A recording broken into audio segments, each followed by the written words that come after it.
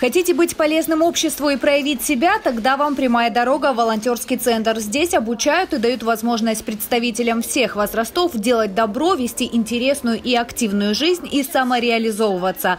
Жизнь Екатерины Плехановой стала намного ярче с тех пор, как она вошла в ряды добровольцев. Сначала тестовые соревнования в 2012-м, теперь европейские игры. Недавно Катя вернулась с Красноярской универсиады. Волонтерство стало для нее важной частью жизни.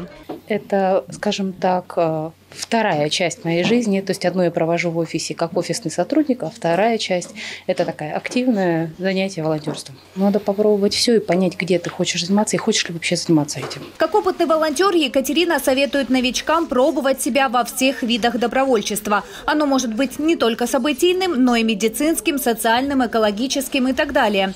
Екатерина Худякова тоже из числа опытных добровольцев. Став студенткой Сочинского университета, не раздумывая, влилась в ряды городских волонтеров волонтеров. С волонтерством я познакомилась еще у себя дома, так как я приехала с Волгограда и была волонтером еще там. А приехав сюда, поняла, что здесь намного больше возможностей, намного больше различных мероприятий, где можно проявить себя, поучаствовать, познакомиться с новыми людьми. В волонтерстве каждый может найти что-то свое. Это интересно, а главное полезно. Новые знакомства, обучение. Часто волонтеров замечают организаторы мероприятия. Это возможность удачно трудоустроиться.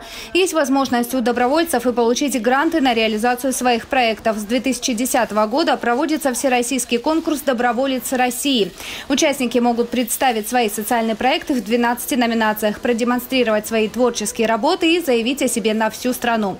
В этом году прием заявок стартовал стартовал 20 марта и продлится до 16 июля. Все подробности можно узнать, посетив Центр волонтерства на улице Советская. Дни открытых дверей проводятся каждый вторник и четверг с 16 часов. Здесь можно записаться в ряды волонтеров и стать участником интересных мероприятий. Буквально на это воскресенье полумарафон, да, куда мы набираем ребят. Впоследствии у нас большой хоккей, Еврочеллендж, да, то есть мы тоже также ведем открытый набор.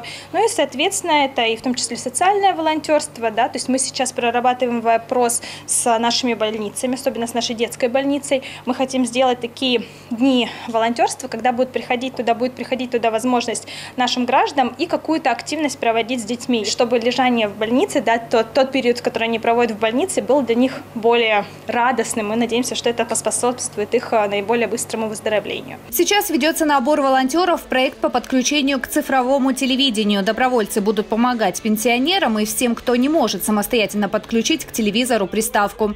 Уже началась и активная подготовка волонтеров к 9 мая. Традиционно перед праздником Победы они посещают ветеранов, общаются с ними и оказывают бытовую помощь.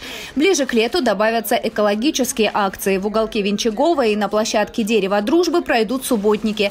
На территории города мероприятия по раздельному сбору мусора. Впервые в этом году волонтеры окажут помощь по охране природы в нацпарке.